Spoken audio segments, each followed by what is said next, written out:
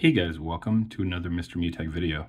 Today I'm going to show you how to turn off Face ID for passwords on your iPhone. So if you have noticed that sometimes your Face ID can just automatically autofill passwords when you're browsing the web or doing something else. If you want to remove that from happening on your device, I'm going to show you how to stop that today. So the first thing that you're going to want to do is open settings on your iPhone and once you open the settings, you're going to scroll down until you see the section for Face ID and password. Go ahead and tap on that. Then go ahead and unlock that section there with your six digit PIN. And then you're going to notice some options here. And this is when you initially set up Face ID, it just checked all these on or toggled them on.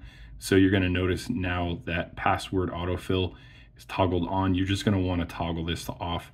And moving forward, you should notice that Face ID will never be used for passwords. Hopefully that was helpful for you guys. And if so, feel free to give me a thumbs up. Thanks so much for watching. Take care.